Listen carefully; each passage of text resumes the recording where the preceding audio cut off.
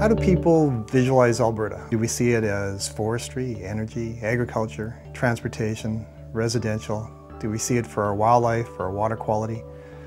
Most people would say that they see Alberta as providing all of those services. But a province that has historically been viewed as quite large, with relatively little going on, is in the last several decades become a very busy place. And clearly we need new policy to shape the direction in which we're going. The concept that we can do everything everywhere all the time is no longer a valid piece of policy. And that's one of the reasons why Alberta's embarked on the Alberta Land Use Framework. So let's set the stage. Let's understand how we got to where we are the last 100 years. Let's describe today's landscape in the province of Alberta. But most importantly, we need to begin to think about management by objective. Where do we want this province to be in 50 years? And what suite of policies will take us from where we are to where we want to go? Each of these policies will have benefits each will have liabilities, just like land uses. So we can actually examine the merits and the anxieties that attend different policies. We need to do that. Alberta needs to think about the architecture that will shape this province and take us to a place where our grandkids will be well served. Now land uses are not constant, but they're dynamic. There was a time in the province of Alberta where all land uses were driven by First Nations people. Now that is no longer the dominant land use in Alberta. That was replaced by a period of time where almost all people were involved directly or indirectly in the harvest of bison. And that was replaced in turn by a very important period of time where Alberta's history was characterized by trapping. Shortly thereafter, the arrival of forestry occurred, but it's never been a dominant land use, at least not from the standpoint of political leverage or employment. But many Albertans today um, share a history in agriculture. A lot of us are second, third, and fourth generation agriculturalists and that land use grew, dominated, and, but today is not as common or as dominant as it used to be. Today's economy is driven by the hydrocarbon sector, by the energy sector. It is the dominant land use that shapes who we are, our royalties, our rents, and a very active player on the land use spectrum in Alberta. So today's Alberta is being shaped by multiple overlapping land use practices, all of which are growing. This is shown very nicely by this dark sky image that shows how bright Alberta is relative to its north, south, east, and west neighbors, light emission being a very good proxy of land use intensity. The brighter the light, the more GDP. So it's a very good indication of overall economic activity levels. Now, if you look at the, these lights in detail, you realize, of course, they're driven by land use. And we conduct land use so we can grow commodities. So if we look at all the commodities we produce in the province of Alberta, there's no other chunk of landscape in North America, comparable in size, that produces as many commodities as we do in the province of Alberta. And so here you get to see them, whether it be cattle or pigs or poultry or crops or natural gas, conventional oil, bitumen, coal or electricity. Well, to do that, we had to transform the landscape. We have transformed 11 million hectares of Alberta from native prairie and parkland and foothills into cultivated crops. Another 14 million hectares is currently allocated for grazing by cattle, either on the private lands or public lands of Alberta. Over 24 million hectares is allocated for forest management agreement areas, and about half of that, about 12 million hectares, is our merchantable land base inside our forest management agreements, and they have to be harvested once every 100 years. We have another quarter million hectares or thereabouts dedicated right now to the direct footprint of cities and towns, and 340,000 hectares for those people that live outside of cities. Those are people who live on acreages and live on farms. 1.1 million hectares today is in the direct footprint of the energy sector. That's the seismic lines, well sites, pipelines, and processing plants of the hydrocarbon sector. 400,000 hectares is directly in the footprint of transportation, roads, whether they be small roads or large roads, and many hectares in a rapidly increasing recreational footprint. So these are our golf courses, ski areas, parks. So I think because of that, we need to begin to think of Alberta as a blueprint just much like we would in terms of building a house. It has a series of different rooms. We need to think about what we're going to do in each and every one of the rooms. Where are we going to get our crops, our forestry? Where are we going to live? So we need to, at both the provincial scale and at the regional scale, think about how we build this province, the macro architecture. And clearly it's going to mean that not everyone can do everything everywhere all the time. So why do we have land uses? Because we have people. How has the population changed? Well, here we're seeing the population grow from what, 40 or 50,000 people at the turn of the last century to the 3.6 million people we have today, and a significant concentration in the Edmonton Calgary corridor that houses three out of every four Albertans. Now back in the 30s, about 80% of Albertans were rural. Today, 80% of Albertans live in cities and towns. 14% live on acreages and the remaining 6% are farmers. So we've seen a very rapid transformation of this landscape, but most people living in the Edmonton-Calgary corridor. And in this graph, we see that the population has been growing at about 1.8% per year to the 3.6 million people we have today, give or take a few. And if we continue to grow at that rate, between 2005 and 2055, we will have 7.5 million people. That means we're going to put an additional 3.9 million people. Many of those will be in the Edmonton-Calgary corridor. And just remind people how quickly this has changed, here we look at the capital city of, of Edmonton, here sitting in 1951 at about 76 square kilometers. Here's how it grew to 2007, where it's now at around 433 square kilometers. And if it continues to grow in area in a, at the same pace, by 2057, Edmonton will be more than 2,000 square kilometers and consuming the satellite communities around it. So the cities are growing very quickly. And as they grow, they consume area. So right now, all of our cities and towns together and our acreages is about 5,000 square kilometers. But by 2055, it's going to be at 14,000 square kilometers, meaning that we need to expand by 9,000 square kilometers between 2005 and 2055. That's 0.9 million hectares. And a lot of that land is going to be in the Edmonton-Calgary corridor. And if you look at the average value of a square kilometer, at about $1.5 million per square kilometer. That represents about $14 billion in today's dollar value. And so that's one of the key reasons why Alberta's major cities grow out, not up, is there's a lot of money to be made by consuming peripheral land. And one of the conversations we need to have is the benefits of growing up rather than out. Urban sprawl is a big issue in Alberta. And I'd like to illustrate that just from the standpoint of soils. Here on the left, you see a map of Alberta and its soils those dark black soils, those are our black chernozemic soils. Those are the best soils we have in Alberta. And if we lay over the Edmonton-Calgary corridor, as you see in the slide now, you see that there's a significant overlap between where most people live and where the soils are. Well, that's not surprising. These cities were established based on two factors, good soils and proximity to water. So as we continue to expand our cities, we are consuming, we're paving over these best agricultural soils in the province of Alberta and we will lose about 900,000 hectares of good soils in the next four to five decades. Now, one of the most important land uses in Alberta in the last several decades has been that of agriculture. Here in the graph, you get to see how agriculture has expanded in area, and we're not including the improved pasture, so the total amount of agricultural land is even higher than that. But the point is that most of the growth has already occurred. And one of the key dynamics here is agriculture is continuing to expand at about 8,000 hectares every single year in terms of forage and cereal crops. But that doesn't mean it's getting bigger because it's actually being eaten into by roads, expanding settlements, cities, and the footprint of the energy sector at about 15,000 hectares per year. So agriculture is actually going to get smaller in the future, and that's going to have some implications to food production. So here we look at how it's growing and where it's going in the future. Here we see a map of how agriculture expanded. So in the early 1900s, moving through the short and tall grass prairies, west into the foothills, north into the parkland, the Peace River area takes off, and we gradually increase the amount of area and intensity of agriculture to the, you know, what, 20% of the province today. And here you get to see the distribution of agriculture. Most of it in the Edmonton-Calgary corridor. The Peace River area is, of course, very important. Now, on the livestock side, it also has expanded through time. So here you get to see in the graph on the right how we moved to, say, 7 million head of cattle in the province of Alberta. And most of them, of course, are in the Edmonton-Calgary corridor, and livestock, particularly cattle, uh, need access to good forage, and so there's a really interesting concordance between where we grew our forage crops and where we have our cattle. So that cattle population has increased a lot too.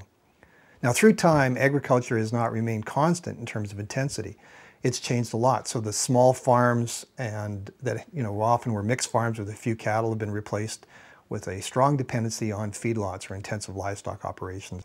We've also moved from small farms to far fewer very, very large uniform or homogeneous farms. So we've lost a lot of the, let's call it fine scale heterogeneity of farms. Um, fence lines have gone from being complex to being very uniform. So an agricultural sector that was very good at in terms of maintaining wildlife has become much more intensive, much larger in scale. Now, this is of course influenced biodiversity. So if we look at the map on the right produced by Alberta Agriculture, we get to see the hotspots in terms of where land use, particularly agriculture, is affected biodiversity.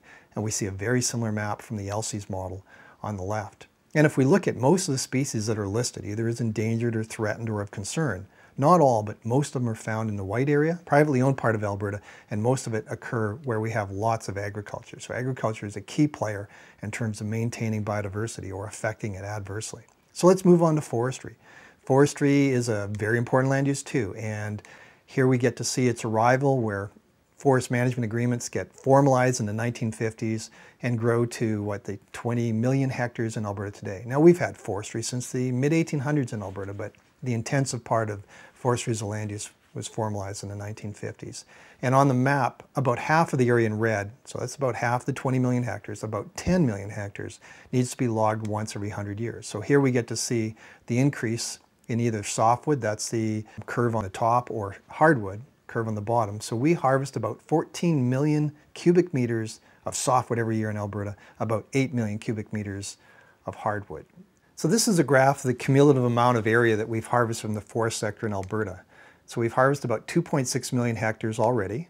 And by the time we get to 2055, we will have harvested 7.3 million hectares. So that means another 4.7 million hectares need to be logged. And of course, how we harvest our commercial forest land bases significantly influence carbon, wildlife, and water. So it's an important issue that we understand how to harvest forests in a way that produces timber production, but also these other important values. Because if we don't, um, forestry can significantly affect things like water quality through runoff of sediment, particularly in areas that have steeper lands. Now, the energy sector is the most important land use we have in Alberta today in terms of jobs, royalties, and rent. So let's look at this one in a little bit of detail. And this map shows us how the total amount of well footprint has increased through time. And you get to see the various portions of Alberta that are very important in terms of the hydrocarbon sector. And we're talking here about conventional oil, natural gas, unconventional gas, unconventional oil, and bitumen, and coal. So you get to see the hot spots. And so it has grown exponentially. And though, even though conventional oil, we've gone past peak production in all likelihood, and it's starting to come down, and the same with natural gas, that doesn't mean that the energy sector is past its prime in the province of Alberta. In fact, I would argue it's embryonic because we have unconventional gases like coal bed methane, oil shale, and particularly in Alberta, the, the bitumen or oil sand industry is very young, embryonic, and growing very rapidly as we get to see here on this graph, um, looking at the different types of hydrocarbon production. Now, the energy sector builds footprint. We express it in area and edge. So right now in the province of Alberta, there's about 1.5 million hectares of direct footprint of the energy sector. And on edge, so that's the side of seismic lines and well sites and pipelines, 1.5 million kilometers. So if we look at where we're going to go in the next five decades, including reclamation, we have about 830,000 kilometers of new edge to produce and about 850,000 hectares associated with the energy sector. So a lot more activity in the oil and gas sector in the next half century in the province of Alberta. Now all of these land uses require transportation networks. So here we're looking at the total amount of roads we have in the province today. From minor roads to the major highways, it's 350,000 kilometers. And by the time we get to 2055, we will be up to 740,000 kilometers. So we need to build about 400,000 kilometers more of roads. Now these roads in the future are primarily going to cut blocks, are going to well sites, and are going to rural residences, acreages. And here we get to see, for the first time, the history of the development of roads in the province of Alberta, coming in from Montana, coming from eastern Canada, as we fill in, as time marches on, the white area, the two by one mile grid, and of course, the Peace River area gets its development. Outside of the white area and the green area, we're seeing lots of roads emerge that are going to well sites and cut blocks. And here is where we are today, upward to 500,000 kilometers of total transportation. So that's not just roads, we're also putting in rails in here too.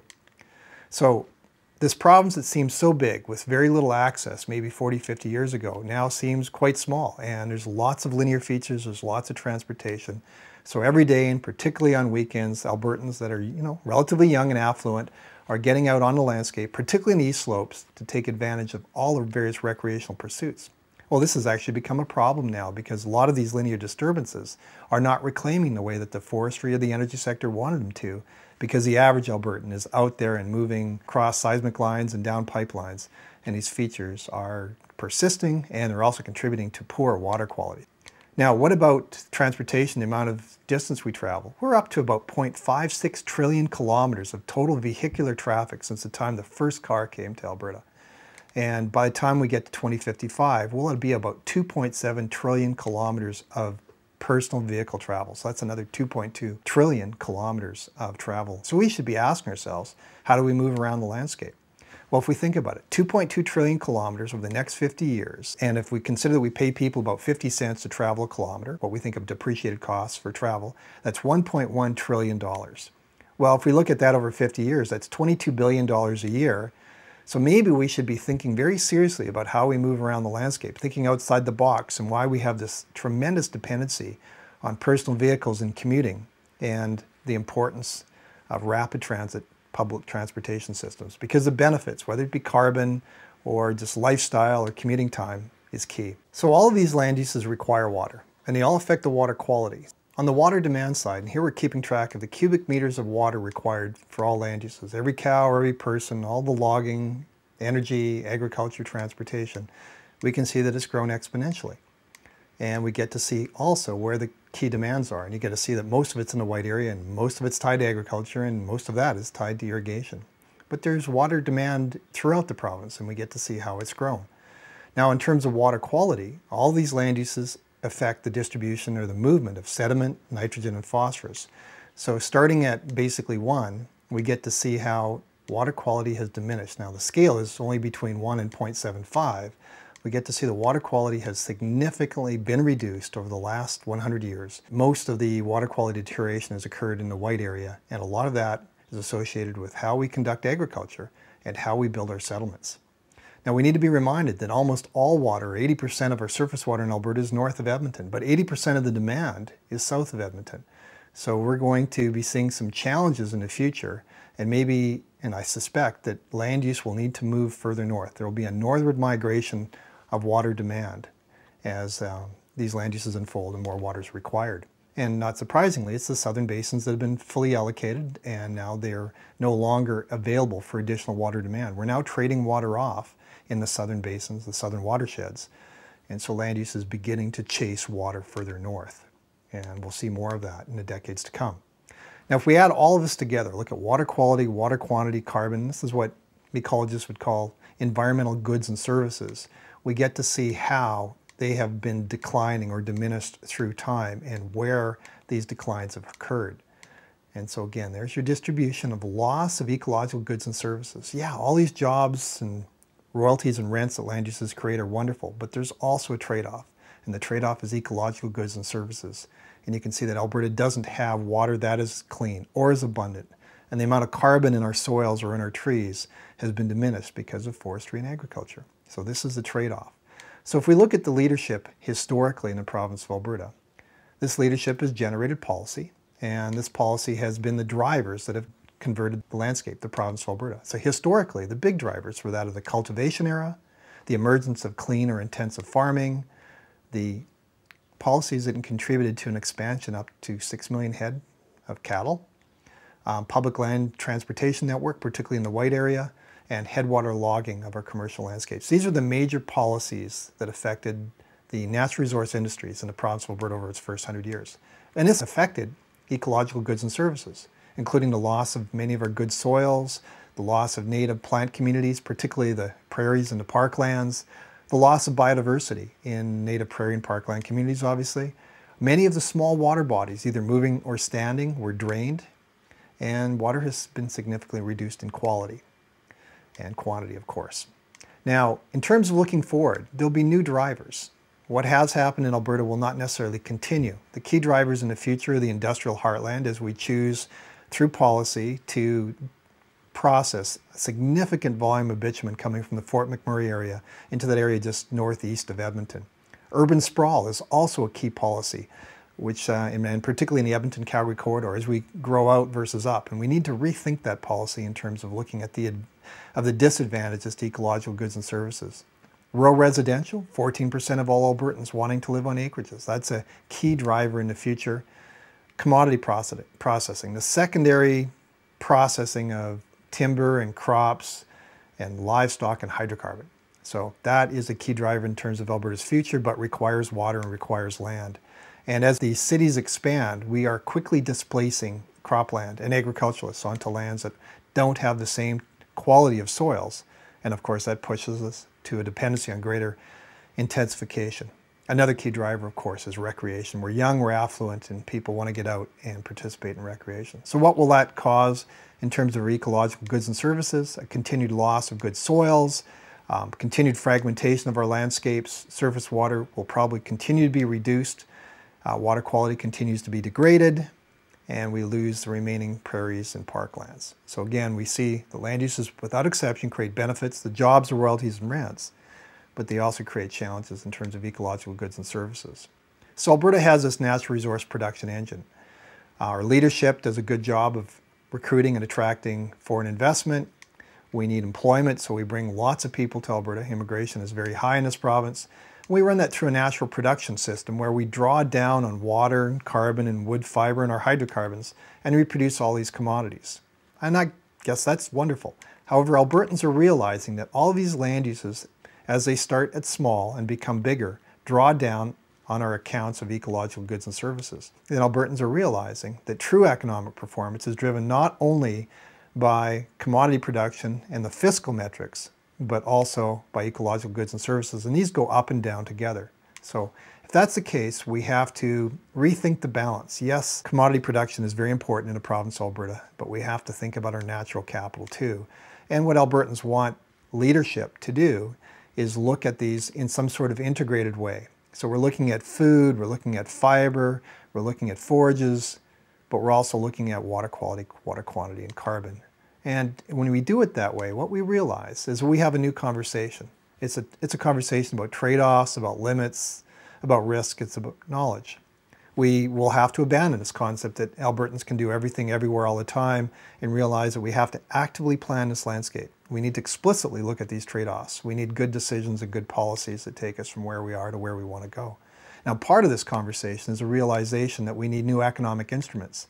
And the idea that we can only pay farmers for forages or livestock people for cattle or the forest sector for timber supply, that needs to change. And we need to provide incentives to grow more than just those primary commodities and start rewarding land users for things like water quality, water quantity, and carbon. And that, of course, require new, new policy and new economic instruments if we're going to do a good job of not only maintaining jobs, royalties, and rents, but also natural capital.